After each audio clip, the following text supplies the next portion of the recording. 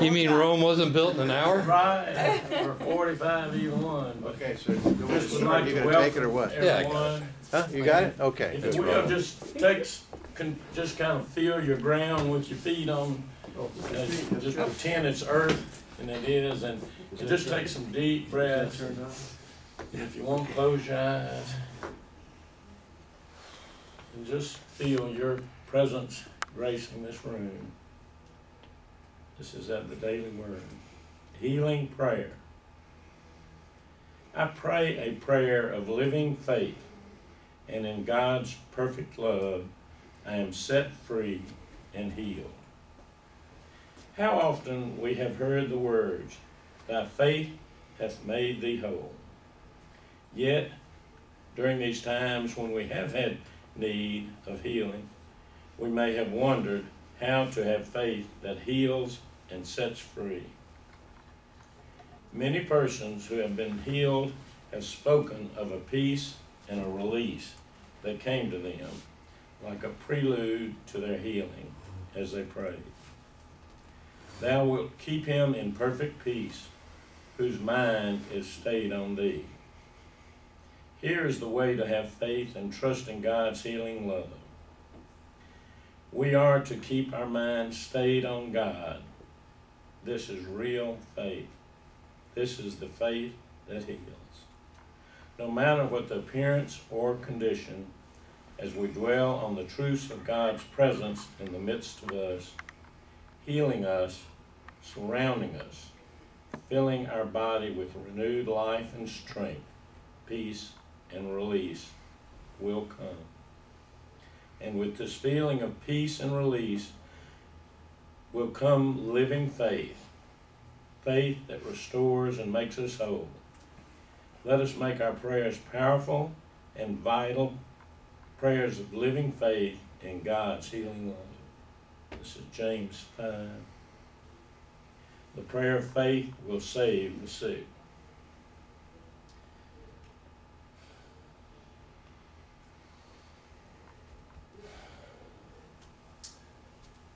Uh, just welcome, and I uh, did want I just I've been waiting for three weeks to hear what Texas has to do with the sacred city of Rome. So I probably would have I would have stayed stayed home if Paul hadn't set that that hanger out there for cliffhanger for us.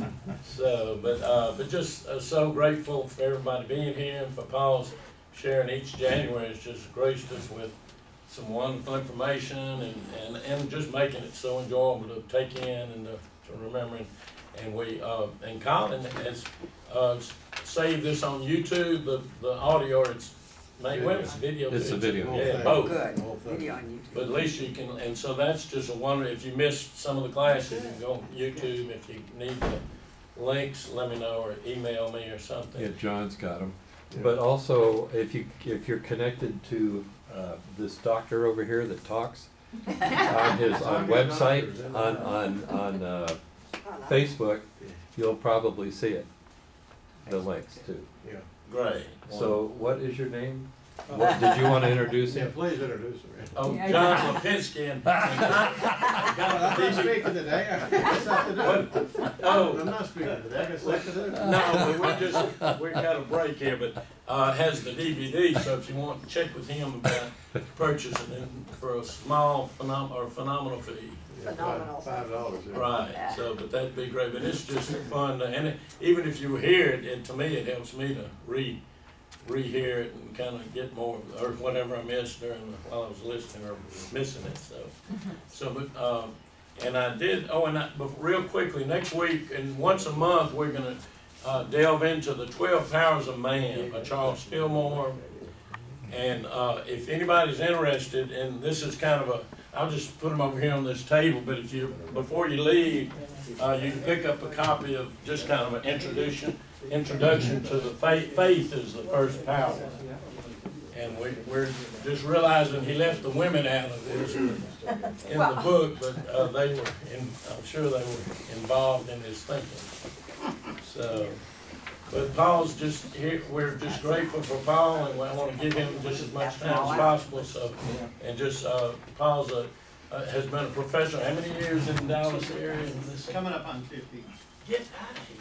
Whoa. All the way. Fifty years of teaching wonderful information, and he has quite a following of, of students that, you know, just really appreciate it as, as much as we do, so thanks for being here, Paul. Thank you. Yeah. Thank you. There's one more. Uh, Yeah, it's a real treat to be here and also, uh, uh, a treat to uh, see so many good and dear friends again. Once a year, sometimes, some of you, is the only time I see you, it's January. So a few years ago, I started coming in May, so I do a series in May here, and I hope in the evenings.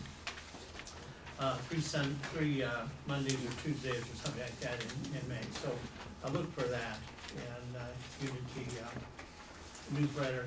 Um, I hate it that John Lipinski is gone, I always have to make fun of him for his great ties. I, uh, I attempt to uh, imitate, but, um, this is my Garden of Eden tie. Uh, it's, it's okay, but it doesn't just blind you like John's does. Uh, I wanna write down a word that has been very meaningful this week.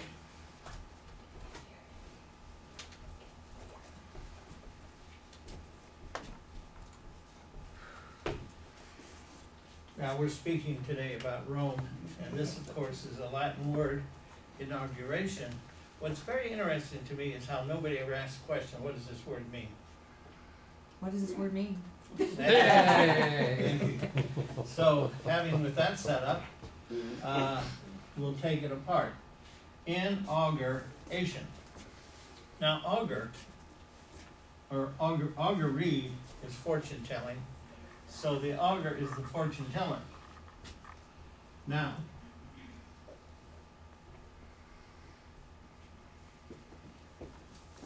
so to be in means to be in tune with. There's that tie. Come on in, Sharon. We got you up here at the amen section. Okay. If Paul spits on you, just let me know. Thank you. Sharon. Thanks for coming. Um, so the augur was a very important person for the Romans. He was the guy that you went to to tell you if it was okay to proceed with a project. The project could be anything, could be a, a marriage contract, it could be, uh, buying some property, something, but you had to have the approval of the augur. And the, and the augur was, would, would consult many things. One of the popular ways in which they would find out what the future was bringing was gut gazing. And so they would take an animal, always a male, and they would take the ram typically and put it on an altar, cut open the gut, the center part, and the guts would all fall out. And then they would study the guts. And you had people that had virtually PhDs in gut gazing, they could tell you exactly what it meant. And, uh, so it is surprising to me how very, very strongly they believed in this, because if that animal, uh, say was diseased or something, then this would be a bad omen, and this would mean that they should not, um, proceed with the project. So you would pay the, you would pay the gut gazer, uh, who was a specialist, and, uh, the, the augur, which could be a gut gazer, but gut gazing was a specialty under augury, that makes any sense. If You pay that person to tell you, is it proper now to proceed with this new project? So inauguration means you have the approval of the fortune teller. And Of the I gut thought how gazer. appropriate this week, Well, we needed a, a- we need a fortune teller to tell us what's, what's coming next. And, uh, it's like a fog we're going into. And uh, nobody knows, including the new president, I think, probably what's going to happen. So, from the standpoint of fun and entertainment and interesting, it could be. Uh, from the standpoint of scary, it also could be six hundred there were six hundred marches in cities across the world yesterday. Anybody here march? Where'd you march, Dallas? Uh, yeah, Dallas. Yeah, Fort Worth had a big one. Fort Dow, how big was Dallas's? That was over a thousand. Was it? It had to be a little bit more than that, It but it sure was seemed way that's more all than they it- thought it would be. Yeah. But it went on forever. Yeah, in uh, Los Angeles, there were so many, they had to break it up into three marches. You know, hundreds of thousands of people. Well, they said it's up to 700, 500 to seven hundred thousand people in LA alone. You know, it's staggering. By the way, there's never been, to my knowledge, marches against an incoming president. And in other countries, All, all over the world. yeah. Yeah, I mean, why are they marching in Norway, you know? Why are they marching in India? Rome. What, what's, yeah, Rome and Paris and London, all of it. So anyway, that's a fascinating thing. Um,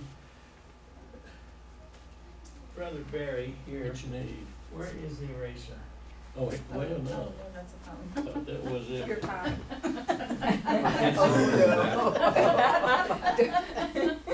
For lack of And why, in talking about that, if, one thing we can consider is, next week, we're talking about faith, Mhm. and that'd be the, Yeah, that, they need the That's- faith. Are you what- sure? You're- yeah, okay. Alright, so to be, to have the blessing of the augur, and boy, Oh, we need a blessing. Yeah, he comes. We didn't exactly We'll- get it. we'll- Yeah, this, You this. it wet or dry? Dry. Dry. Either one. All right. Sure. Thank you, thank you, appreciate it very much. I want to, uh, try to collapse and compress what I have to tell you about Rome, because this could carry on for a long, long time. So I have, I've come up with a technique to explain why the Romans, uh, believed what they did about their destiny, their universe. Oh, look who's here. Come on in. Hey, Jimmy. And we got, we got a One chair seat. here, we got one here. Oh, Yeah. Sharon, maybe you could Yep, scoot over here. Come on in, please. Hi. Great to see you. Not far. Hey, Jimmy. Come on in. Look who's, look who you're sitting next to. Well, you missed my dissertation on, on inaugurations, so I'm gonna have to do that for you later. So, anyway. Buy the DVD. Yeah. Anyway, I- one word will help us get into the whole mindset of the Romans, and that word is this, Lupercalia. Now this was the number one, most important holy day, holiday, festival for the Romans. They had many, and one of the reasons they had so many festivals and holidays is because they didn't have weekends. The Roman week was eight days and then start over again. And so the only time you got a break was if there was a, you know, day off work, if there was a holy day. And uh, so their, their holy days were really important, but this was number one. Now, to understand the Lupercalia, you have to understand uh, what the word means. First of all, Luper is the wolf, and Calia is the festival. Now, this goes, of course, back to the very core and essence of the history of what Rome is all about. So let's start with two quick stories which will set the context. The first story is the story of a young girl um, who was minding her own business, not doing anything at all, and uh, walking walking down walking down the street. And Zeus oh, I'm sorry. Zeus sees Leda. And uh, Leda, probably, I'm going to say, teenage girl still, not old, very young, but extraordinarily beautiful. And of course, he has those x ray eyes, you can look out and see. And Zeus' uh, pastime, along with that of his brothers, is the raping of gorgeous young females.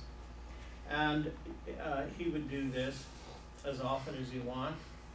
And strangely enough, the culture didn't think this was strange because the child that came from this, uh, let's call it an outrage, would be, of course, half divine.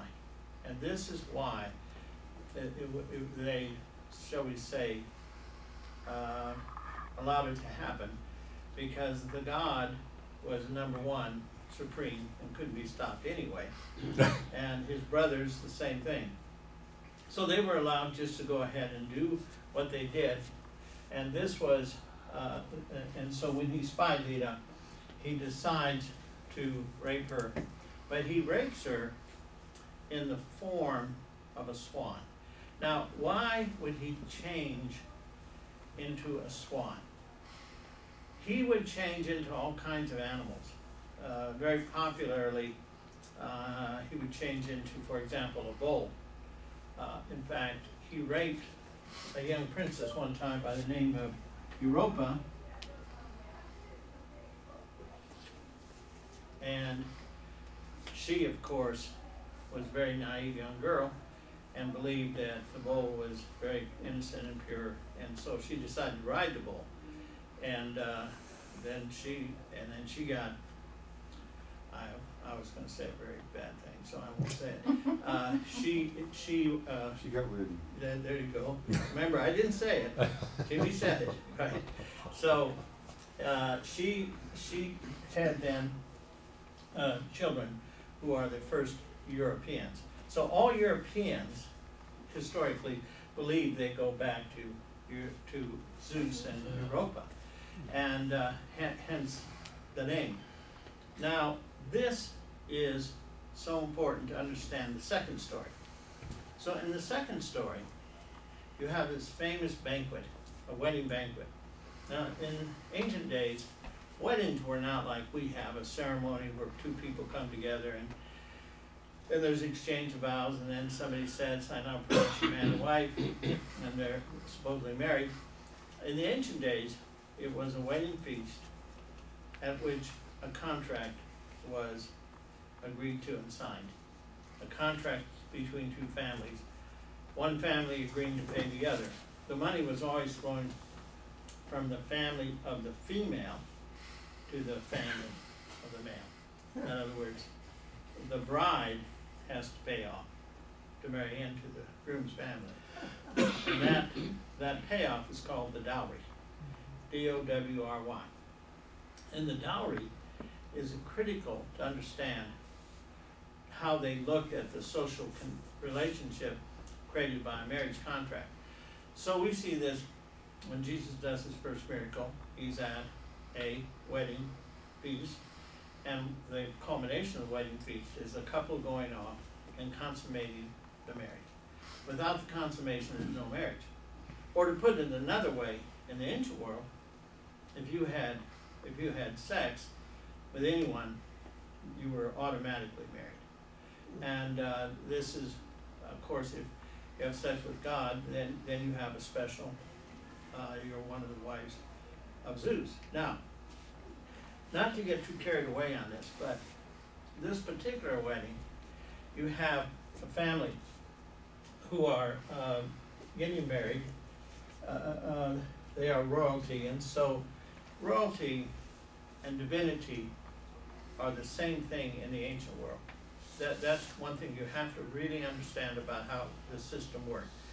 That royalty and divinity uh, coexist. So royals are divine, or divinely appointed, or divinely sent into the world uh, to rule, and uh, by the gods. And so to this wedding, the gods and goddesses were all invited, and all the royal people. But there was one particular minor god who was not invited, and he was very, very angry about this, because, as I say, the invitation is the thing.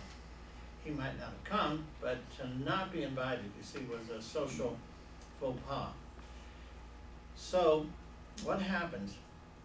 He decides to wreak revenge on the wedding, party, and, and cause everything to just get uh, crazy. So, he brings to the wedding a golden apple. And this golden apple has written on it, for the most beautiful. And he comes into the wedding and he, he gives the golden apple to Zeus.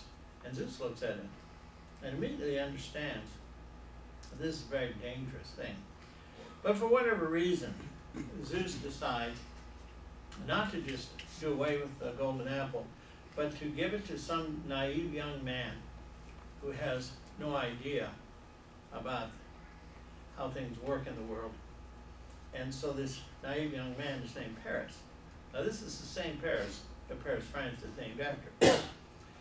and so Paris, probably about the age of twenty, very excited, very, very intense to do a good job here and to pick the most beautiful woman to have the golden apple. So he starts going around the banquet, looking at all the women and really enjoying his job. And uh, uh, during this kind of trip around, uh, the goddess, the goddess of, uh, the wife of Zeus, whose name is Hera, comes to him and said, Zeus, look, if you give me the golden apple, I'll give you all of Asia and I'll, I'll throw in Europe. Wow. You know, a huge, massive chunk of the world. Just to have the golden apple, but not really so much the golden apple as to have what's written on it, to be proclaimed the most beautiful. So this is a bride. And Paris thinks, you know, this, this would be wonderful. I could be, you know, a king over all this territory. But not too long after that, then Aphrodite comes to him and says, Paris, I will give you victory. And, excuse me, uh, the god Athena comes to him and said, I will give you victory in battle. And Athena, of course, is the goddess of war. Now, this is really valuable because this means he can conquer any place he wants. He can conquer the world if he wants to, as he cannot be defeated. And uh, remember that little detail later uh, when we, we talk about our, our, our good friend Alexander the Great. Now, the next thing that happens is Aphrodite comes to Paris and says, if you'll give me the golden apple, I'll give you the most beautiful woman in the entire world. Now, it turns out the most beautiful wor- woman in the entire world is this child of Zeus and Helen, of, of Leda named Helen. And of course, now we, we, we come to Helen of Troy. So, Uh, uh, Paris gives the golden apple to Aphrodite. She causes Helen to fall in love with Paris.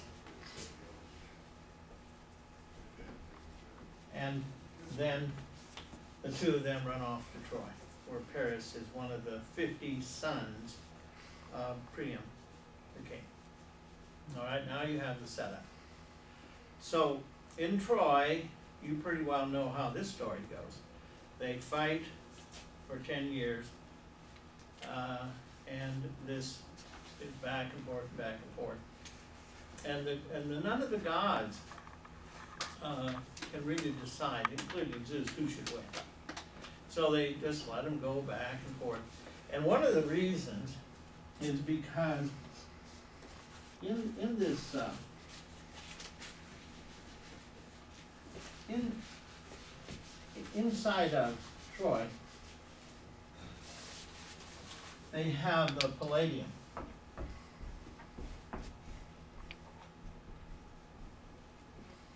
Now, the Palladium comes from the word palace.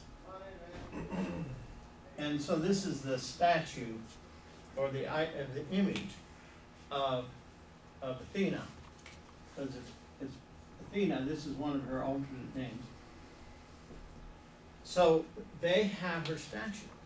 And as long as the Trojans are worshiping that statue, Athena cannot let the Greeks defeat and destroy Troy. Even though she hates Troy. Why does she hate Troy? Because Paris gave the golden apple to Aphrodite instead of her. So she is in a great quandary. So eventually what happens, of course, is one particular Greek sneaks inside Troy, steals the Palladium, his name is Odysseus. And when, when he's done that, he, he leaves and he, he comes, uh, he leaves, uh, steals the Palladium and then leaves with the Greeks who pretend that they're defeated and go off. And then you know the story of the Trojan horse. The reason the Trojan horse is successful is because the palladium is gone from Troy. So palladium with a small p today means anything that you might have that's gonna protect you. Uh, I remember when I was a kid, all the Catholics had their Saint Christopher, the little statue on the, the front. Did, did you all have one? Did you, did, did your, the, the Saint Christopher? And that would protect them on their journeys. So it is very, very important to appreciate and understand that palladium, it is uh, a deep, very deep concept for the, for these folks. Now, uh, by the way, Athens had a very huge palladium, and it protected Athens all those years, of course, until the Spartans came and destroyed it. Now, let's go back, let's get rid of this, and let's go back now to the story and get to the Lupercalia. So, Troy, Troy is completely destroyed. Probably if you go visit Troy, you'll see that Troy was destroyed about eighteen times. So they've always had a lot of trouble trying to guess for sure which one of those destructions was the Trojan War. But there was a young man who, a royalty of, of Troy, who was not in Troy when it was destroyed. He was on patrol. His name was Aeneas. And so Aeneas, Aeneas escapes with some of his men. And then he goes on a, a ten-year journey uh, to find a new place to establish Troy. Finally, he does at the end of ten years. And uh, Aeneas, of course, this story is um, told in the Aeneid by Virgil. If the Romans ever had a Bible, it's the Aeneid. So the Aeneid story of how he eventually gets to Italy, and there he sets up a kingdom a great difficulty because there are many other tribes and people that want this area. He calls it Latinium, from which we get the word Latin. Now, uh, eventually, of course, um, Aeneas passes away, and then his son takes over and struggles and tries to keep it together. And then he has two ch- t- uh, twin sons who you, I'm sure, have heard of, Romulus and Remus.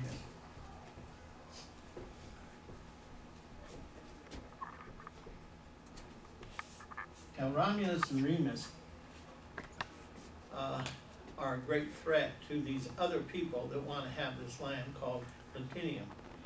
And so they are constantly, people are constantly trying to get a hold of them, uh, their enemies, and eventually somebody does. And they want, they get ready to execute two little babies, but they can't do it. So they decide on plan B. Plan B is put them in a basket, let them float down the flooded Tiber River out into the Mediterranean, and sink and die. So there they are coming down the stream very fast, and there's a big turn in the Tiber. They come around, whip around, but because the Tiber is way up high, part of the Tiber is in the trees, and they get caught in a branch. And when they get caught in this branch, they're crying and screaming. A she wolf, remember, looper means wolf. The she wolf hears them, comes out on the branch, and, and just comes right over where their basket is, gets down to where they can suckle from the she wolf. And this continues for a day or two when a shepherd comes by. and sees them and saves them, takes them